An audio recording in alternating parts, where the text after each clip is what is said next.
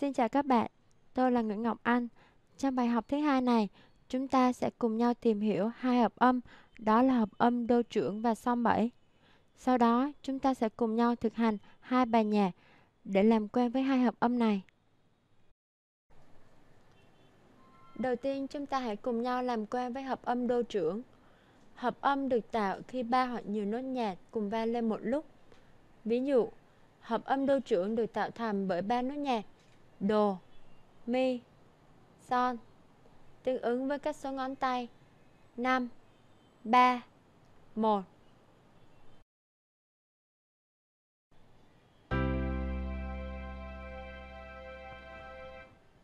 Khi các bạn bấm hợp âm đô trưởng, nhớ chú ý đặt cổ tay, bàn tay và ngón tay theo đúng tư thế căn bản. Bây giờ, tôi sẽ đàn hợp âm đô trưởng ở tay trái. Các bạn hãy vừa đàm và đếm nhịp theo tôi. 2 2 2 3 4 2 2 2 3 4 2 2 2 3 4 2 2 2 3 4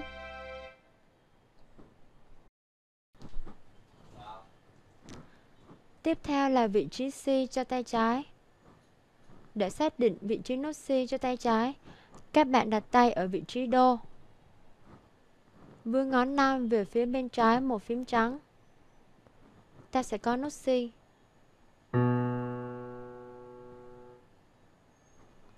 Với nút sin mới này, ta có thể tập bấm hợp âm som 7 ở tay trái. Hợp âm som 7 gồm các nốt từ trái sang là si, fa, son. Tương ứng với các số ngón tay 5, 2, 1.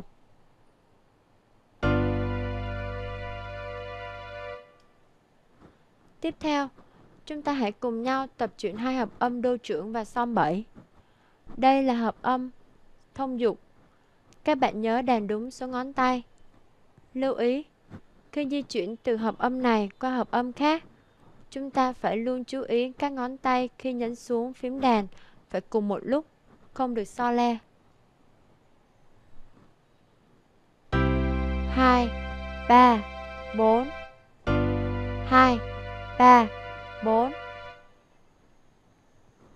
để thực hành hai hợp âm này, chúng ta tập hai tay bài nhạc sau. Tay trái di chuyển hợp âm, tay phải sẽ đàn giai điệu. Các bạn chú ý đến sắc thái trong bài nhạc này.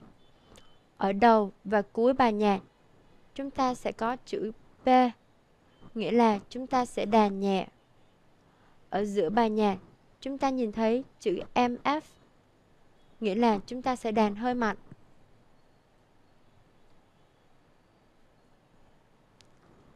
Các bạn. Chỉnh tiến. Vibraphone. Điệu pop. Tempo 110 account on. Synchro.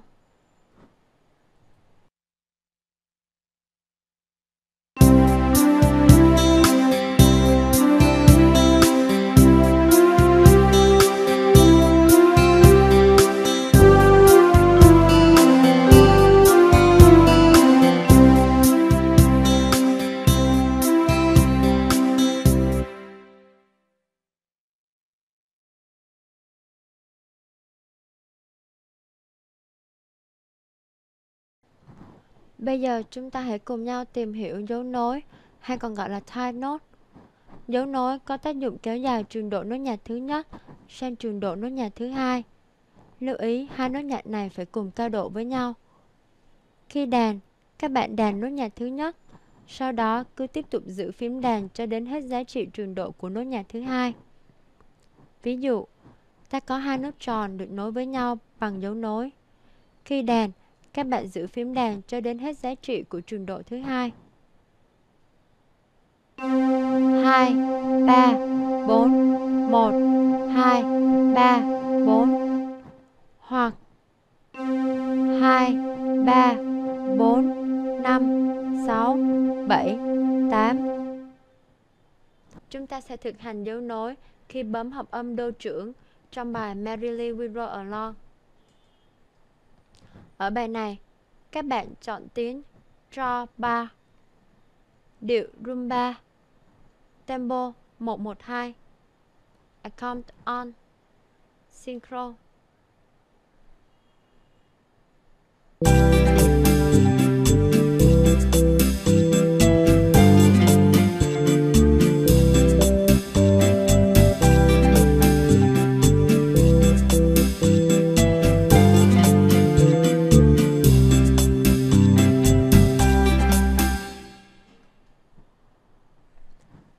Cuối cùng, chúng ta hãy cùng nhau thực hành bài Lago from the New World. Ở bài này, các bạn chọn tiếng brass, điệu match, tempo 120, account on, synchro.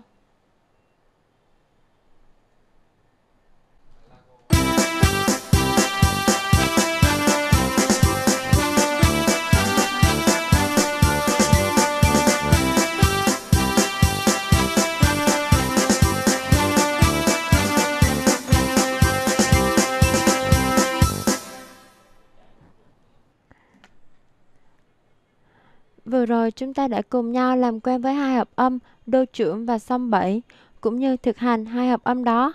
Các bạn hãy cố gắng dành ra ít nhất 15 phút mỗi ngày để thực hành bài học này. Chúc các bạn thành công. Xin chào và hẹn gặp lại.